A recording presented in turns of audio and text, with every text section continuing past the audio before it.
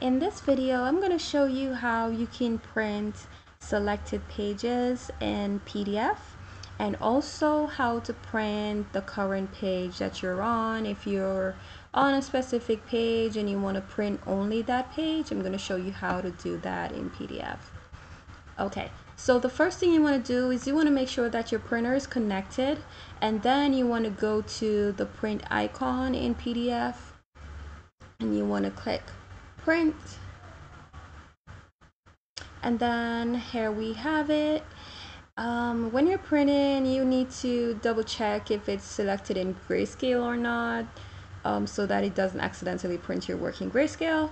Um, and then here is the option for you to print um, in the specific pages that you want to print so here I have 112 pages and let's say I don't want to print the entire document I just only want to print um, a certain number of pages. So if I want to print all of them that's the default option here. If I only want to print the current page that I'm on then I click current and it and I go ahead and print that current page that I'm on and if I want to select the pages that I want to print then I click pages and I specify the pages in here. So for example um, it is 112 pages. So let's say I only want to print the last 12 pages then I would go from 100 and um, 100 to 112 so instead of printing the entire document then I would specify that I only want to print the last 12 pages.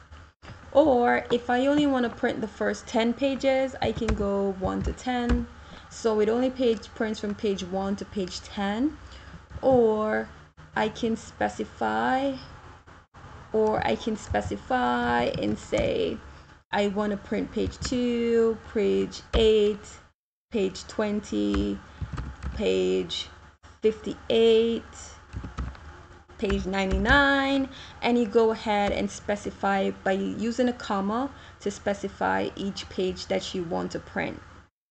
So that's another way to do it. Or um, you can choose if you want to print only the even pages or only the odd pages. So you just say print odd pages only. So we only print only page 1, 3, 5, 7, 9. It won't print any even pages. Or if you want to print even pages, you put page 1, 3, um, five seven it, it would print page two four six eight just even number pages um, so you can definitely specify and curate this to be customizable to you um, and how you want it so it depends on what what which pages you want to page um, which pages you want to print so you just specify the number of pages in here and then once you're done you just click print and then it will print your pages. Um, I hope this video was helpful. Please leave any comments and also like and subscribe. Thank you so much for watching.